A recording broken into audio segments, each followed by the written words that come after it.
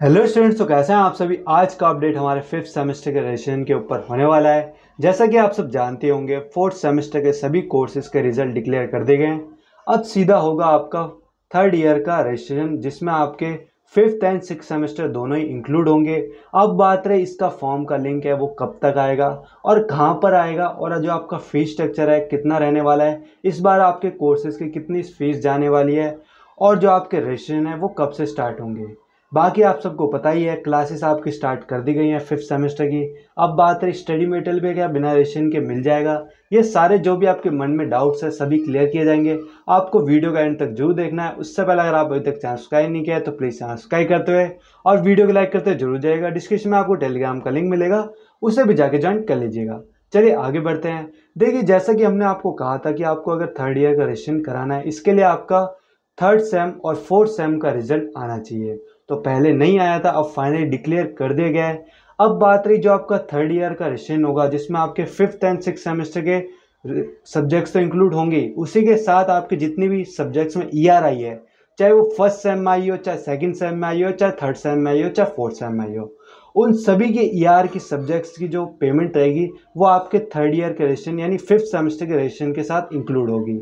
ये बात आपको ध्यान रखनी है। तो जितने भी सब्जेक्ट्स में आप फेल हैं, उन सभी की पेमेंट आपको इस बार करनी होगी फिफ्थ सेमेस्टर के रेशन के टाइम जिसमें आपके फिफ्थ एंड सिक्स सेमेस्टर की तो एक एक मेन फ़ीस तो रहेगी।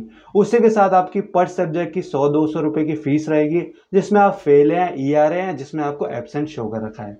ये बात आपको समझ में आएगी। अब बात रही फॉर्म कहाँ पर आएगा? देखिए फॉर्म आपके डैशबोर्ड पर ही आएगा। जैसे आप अपना डैशबोर्ड लॉगिन करेंगे, अपना रोल नंबर और सोल का बारकोड डालकर, उसी में आपका जो फॉर्म का लिंक है, वो वहाँ पे एक्टिवेट हो जाएगा। ये बात आपको समझ में आ गई? अब बात रही जो आपका फ़ीस स्ट्रक्चर है, वो क्या रहने वाला है? देखिए, मैं सभी कोर्सेज का बता रहा हूँ तो उसके हिसाब से रहेगा। मैं आपको रेंज बता देता हूँ। सैंतीस सौ रुपये से लेकर बयालीस सौ रुपये के बीच में आपका फ़ीस स्ट्रक्चर रहने वाला है। इतनी आपकी पेमेंट जाने वाली है आपके थर्ड ईयर की रेशन की। अब इसमें आप इंक्लूड कर लीजिएगा, अगर आप फेल वाले सब्जेक्ट्स हैं। मैंने आपको मेन सब्जेक्ट की फ़ीस बता दी है मतलब मेन पूरा थर्ड ईयर की, जिसमें आपका फिफ्थ सेमेस्टर और सिक्स सेमेस्टर का इंक्लूड होगा, जिसमें आपकी फ़ीस रहने वाली है सैंतीस सौ रुपये से लेकर बयालीस सौ रुपये तक। मतलब थ्री थाउज़ेंड सेवन हंड्रेड से बीच में लेकर फोर थाउज़ेंड टू हंड्रेड के बीच आपकी फ़ीस रहने वाली है। थोड़ी बहुत ऊपर नीचे होगी तो उसे देख लीजिएगा। बाकी जितने फेल और ई e के सब्जेक्ट हैं, उनकी इंक्लूड कर लीजिएगा अलग से, वो इंक्लूड नहीं है इसमें। ये बात आपको समझ में आ गई। अब बात रही मेन की जो आपकी क्लासेस हैं, वो तो कंडक्ट करवाई जा रही है। बुक्स आपको क्या बिना रजिस्ट्रेशन के मिल पाएगी या नहीं? देखिए, मैं आपको बताता हूँ बुक्स के लिए आपको चाहिए होता है फ़ी रिसिप्ट जिसमें आपके सब्जेक्ट मेंशन होते हैं। वो कब आएगी? जब तक आपका रजिस्ट्रेशन नहीं होगा, जब तक आपकी फ़ी रिसिप्ट नहीं आएगी।